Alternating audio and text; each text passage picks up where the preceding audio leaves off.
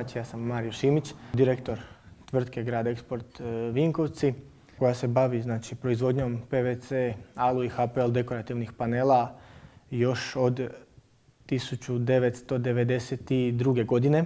Tvrtka proizvodi i, i plasira svoje dekorativne panele u 19 različitih zemalja, uključujući zemlje znači zapadne i istočne Europe. Pri tome volimo istaknuti tržišta Norveške, tržište Finske, definitivno tržište Njemačke i, i, i Austrije. Znači u našoj proizvodnji radi 110 zaposlenika.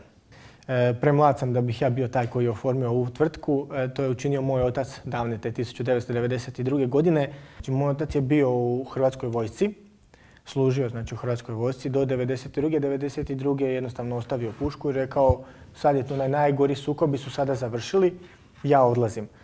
U tim godinama u Hrvatskoj je bilo aktualno baviti se drvnom industrijom, baviti se s drvom, baviti se proizvodnjom parketa, brodskih podova i svega ostalog. On je krenuo i sa parketima, i sa brodskim podovima, i različitim bojama i lakovima u konačnici. Znači bavio se i uslugom i proizvodnjom. Jednostavno u tim trenucima je bilo ili ćeš krenuti odmah ili nećeš krenuti nikako. Jednostavno on je prihvatio šta se nudilo, krenuo i evo hvala Bogu, u konačnici uspio i stvorio grad eksport. Znači. Ovo područje je bilo jako, jako razvijeno prije rata. Tu smo imali firmu Spačva, znači koja posluje i dan danas, ali prije rata je poslovala puno, puno, puno bolje i više.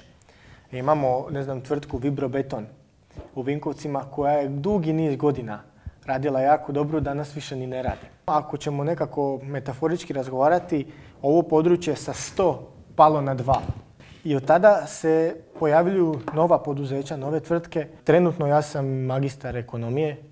Kroz ovaj period, znači od godinu dana koliko sam direktor, prije toga sam proveo dvije godine uz, uz oca, dakle šetajući za njim, praktički upoznavajući različite ljude iz različitih društvenih e, sfera. Kada sam, ajmo reći, dovoljno toga upoznao, naučio dovoljno što koliko bi mi trebalo za kvalitetan početak, onda je ostavljeno da mogu početi ovaj, voditi tvrtku i evo, tako i dalje funkcioniramo.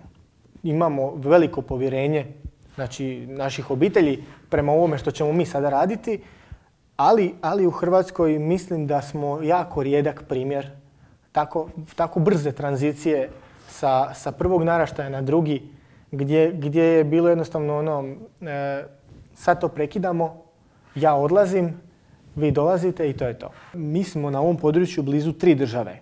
Znači, mi smo blizu Mađarske, blizu smo Bosne koja je od Vinkovaca udaljena maksimalno 25 km i blizu smo Srbije koja je 25 km od Hrvatske.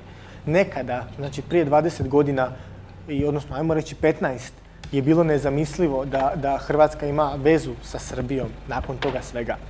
Ali definitivno e, posao, odnosno biznis, nema granica. Trenutno mi kao grad eksport E, imamo registriranu tvrtku u Srbiji, Grad Eksport Beograd. E, radimo sa Bosnom u kojoj imamo dva distributera s kojim radimo jako, jako dobro i u Mađarskoj imamo jednog distributera s kojima isto jako dobro radimo. E, s naše strane mi uvijek govorimo kako je kriza u znači, zemljama zapadne Europe i često spominjemo primjer Njemačke i se i Austrije, nama pogodovala. Ljudi iz Njemačke, kao što sam vam malo prije rekao, često su skeptici prema proizvodima koji dolaze sa tržišta, odnosno iz Republike Hrvatske, znači tu Srbije, Bosne, Crne Gore i sličnih nama zemalja. E, iz razloga što sumnjaju u kvalitetu naših proizvoda. To je bilo prije krize. Kada se dogodila kriza u njihovim zemljama, e, otvorila se mogućnost za plasma naših proizvoda jer tada nije bilo onoliko novaca koliko je bilo prije. Odmah smo iskoristili priliku i proizvode plasirali na tržište Njemačke i Austrije. Osobno mislim da će ulazak Republike Hrvatske u Europsku uniju pomoći firmama koje imaju kvalitetan proizvod i koje trenutno već sada pokušavaju svoje proizvode plasirati na ta tržišta. Danas tu imamo granice, pa nam se onda taj transport oduži zbog granice, zbog svega. Kada uđemo u Europsku uniju neće biti granica, automatski će cirkulacija naših proizvoda prema van biti puno jednostavnija. Trenutno je grad eksport mislim među pet, među pet vodećih tvrtki u cijeloj Europi koja se bavi proizvodnjom dekorativnih panela.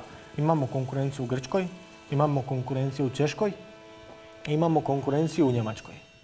Za budućnost ne želimo, ne želimo, definitivno ne želimo biti peti. Ne želimo težiti k tome da budemo prvi.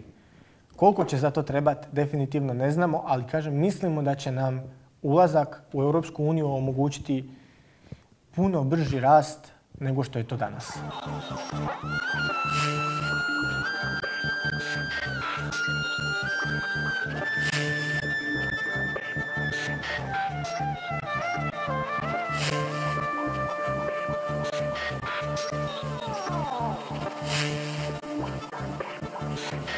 Thank you.